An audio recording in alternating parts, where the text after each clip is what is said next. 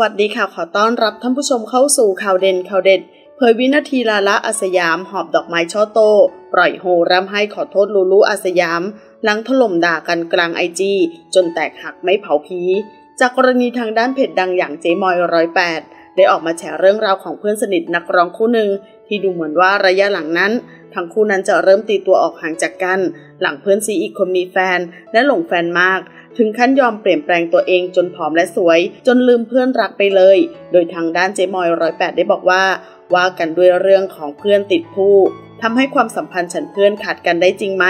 สองสาวันมานี้ กูเห็นเพื่อนซีดารานักร้องคู่หนึ่งที่เคยรัก และสนิทกันมาก ไปไหนมาไหนด้วยกัน ตัวติดกันตลอดล่าสุดมีขึ้นเฟซบุ๊กเน็บกันไปมา เรื่องเพื่อนสนิทแล้วว่า คนหนึ่งขึ้น เพื่อนบางคนเป็นของขวัญ บางคนเป็นบทเรียนแฮชแท็กเวลาเปลี่ยนคนคนเปลี่ยน จากนั้นทั้งคู่ก็ถึงขั้นแดกกันไปแดกกันมาเลยแม่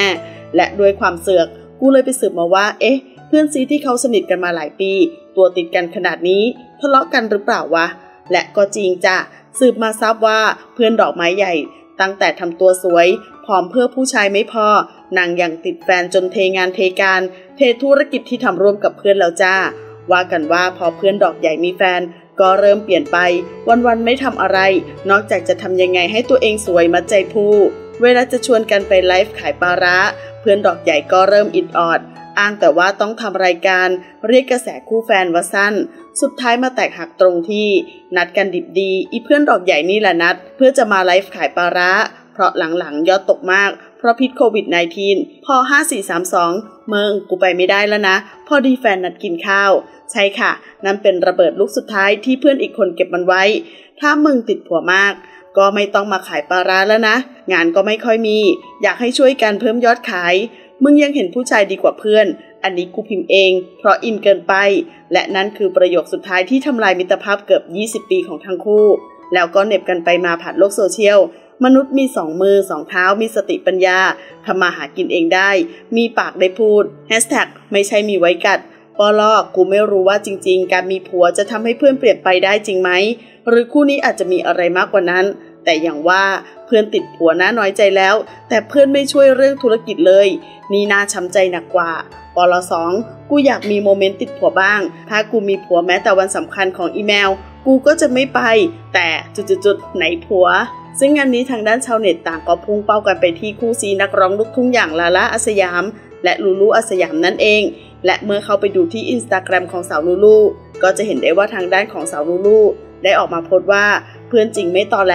เพื่อนแท้ไม่หักหลัง อีกทั้งยังได้ออกมาแชร์ข้อความ แม้แต่เกลือยังกลายเป็นนอน คนเคยกอดนอน ยังกลายมาเป็นศัตรูก็คงไม่แปลก หากคนใกล้ชิดจะกลายเป็นอสรพิษ โดยลาลาโพสต์ว่าเพื่อนที่ดีจะเข้าใจเรา ไม่ใช่อิจฉาเราที่เราได้ดี พร้อมกับโค้ดข้อความว่า เพื่อนอยู่กับเราตลอดไปค่ะ แต่ผู้ชายมาแล้วก็ไป เพราะฉะนั้นไปกับผู้ชายก่อนค่อยกลับมาหาเพื่อนค่ะ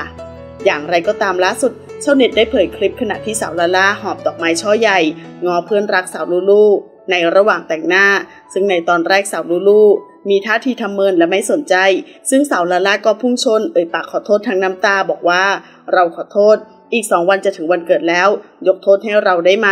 จากนั้นสาวลาล่าก็ได้กล่าวว่าทำไมตอนทำไม่คิดว่าหลังจะทำอะไรคิดให้ดีๆ ให้คิดถึงความรู้สึกของเราด้วย เราไม่ได้ว่า ไม่ได้ห้าม เราไม่ได้โกรธ จากนั้นสาวลาล่าก็โผล่เข้ากอดปล่อยโฮทันที